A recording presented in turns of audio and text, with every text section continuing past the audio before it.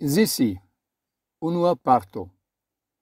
En la blogo Esperanta Red Radio estis publicigitae textoi miai rilatae al Netflix, kiuin mi poste aperigis in citio canalo. La titolo estas Netflix, La Crono cae Ertugrul. La Crono, traduco de la angla originalo The Crown, cae Ertugrul estas du serioi de filmoi. Crom tiovi du tre interesae serioi, mi spectis quelcaen aliaen. Inter ili, antone longe, la serion La Imperiestrino, traduco de la germana originalo di Kaiserin. Tiam mi exciis pri kiu imperiestrino temas, tiu estas pri la edzino de la austra imperiestro Francisco Josefo la unua, mi tui memoris pri la fama filmo Zisi, productita in la 1950 jaroj. Mi bone memoris coloran foton kiu montras la du cefan geactoroin, la belegan cae famegan germaninon Romy Schneider, kiu poste vivis multan jaroin in Francio, kaj la belan austron Karl-Heinz Böhm, kiu nascigis cae vivis dum sia infanezzo kaj iunezzo in Germanio. Cil mi diris, la filmo estis fama, sed fakte mi ne spectis gin, char in tiu tempo mi estis nur dec jaragia. Spectinte la menciitan serion en Netflix, mi sercis cae trovis la filmon sisi in YouTube cae spectis gin. Nu tiam mi exciis, che existas facte tri filmoi con la samae geactoroi pri la vivo de la imperiestrino Zisi. Do temas pri trilogio. La dua cae tria partoi estis productitae pro tio che la unua filmo estis successega.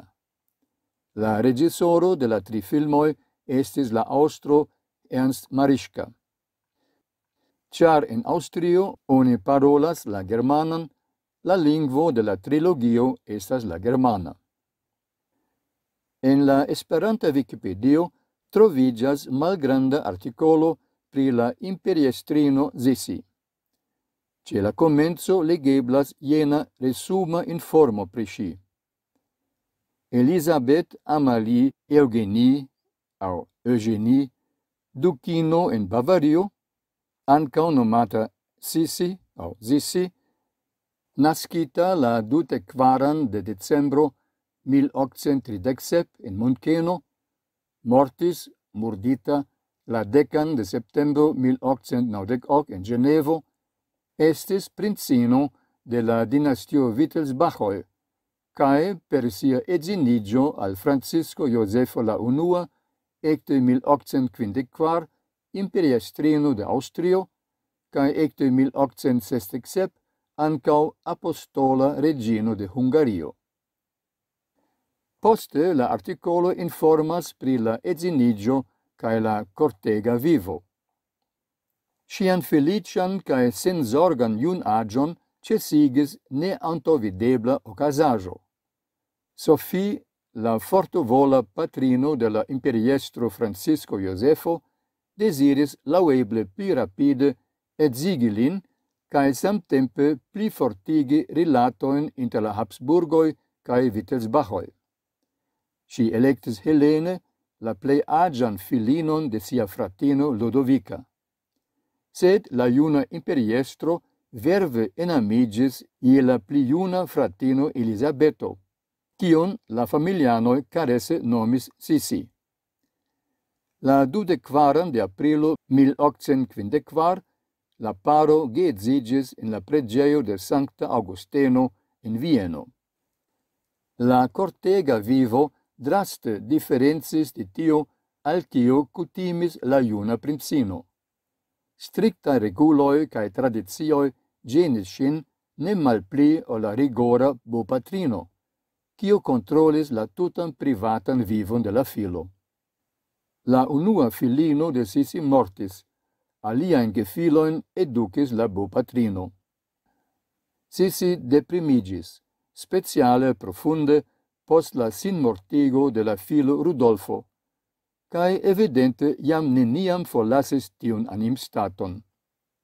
Ciam trista cae melancolia, si pasigis plurain horoin antaus spigulo, rigardante sin mem cae prisorgante sian belezon. La imperiestro plu adoris sian edzinon, sed si iam ne povis plene reciproci lia incentoin. Si mem provis silentigi doloron de sia coro per plurae activajoi, kiel ceval raidado, accettado de belae vestoi cae voyagiado. Plurain monatoin si pasigis sur voyage au en sia castello vilau Achilleon sur Cofuo. En venonta video mi daurigos la texton pri la imperestrino cae la filmoi pri sci.